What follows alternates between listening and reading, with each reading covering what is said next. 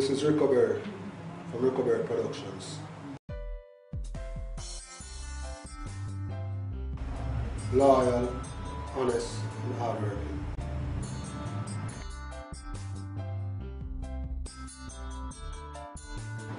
Well, you know, it's, I got started by a friend, you know. Encouragement of a friend, Brian, you know. His soul rest in peace, you know? Growing up, always have a love for music. So so, um, looking around in the community, saw a lot of raw talent, you know, and most of them I see going to waste, so I was the encouragement and say, you know what, I'm going to start something and see if something can happen for these guys. You know what I mean? I don't want them to string and go in crime or anything like that.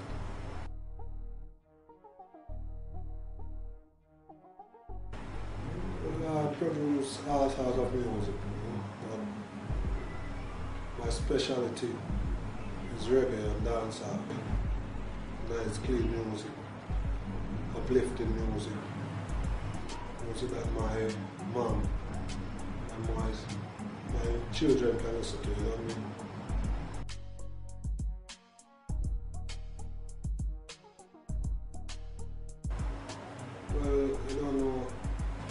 Andrew James, you know, production manager, aka Stamadi, you know mean? He runs whole operation with the financial wise, you see what I'm saying?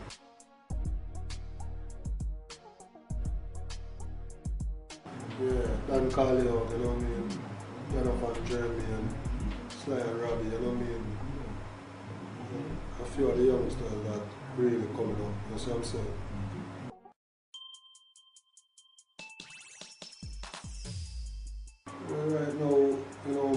Know, we're getting ready right now to hit the streets is Silver City. Already called Silver City.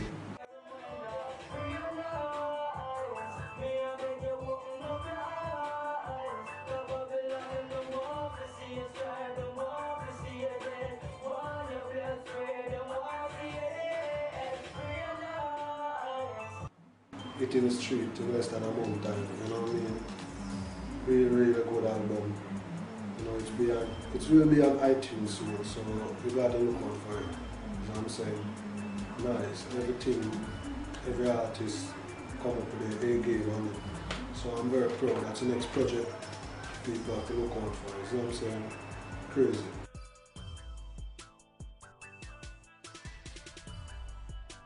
Well, every artist have a different style, flair. That's what I'm saying. And I know every artist that I work with, I know what they are capable of. So when I, whenever I build a rhythm, I know exactly who to put on that rhythm.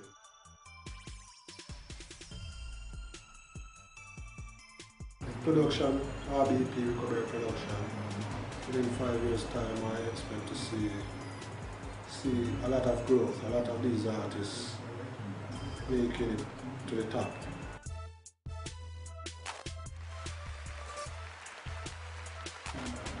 Well, the advice I give to a young producer or a young artist coming up is first to learn the business of music.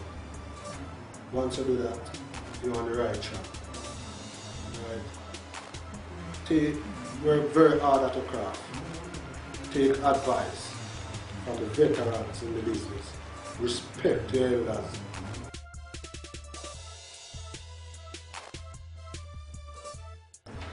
You know, in a struggle in this Jamaican system. As I say, most of these these jacks and selectors, they played off names.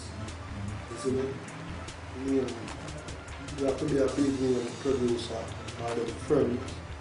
And after, you see what I'm? Top up Mosaic.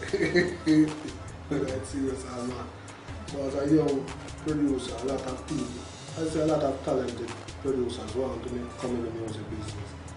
Because they are poor and they say, yo, we have to have money for push music.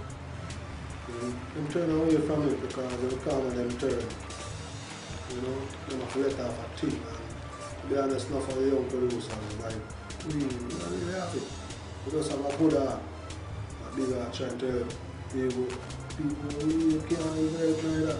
That's how you can yourself, to be honest. You see what I'm saying? But, you know, we have a dream.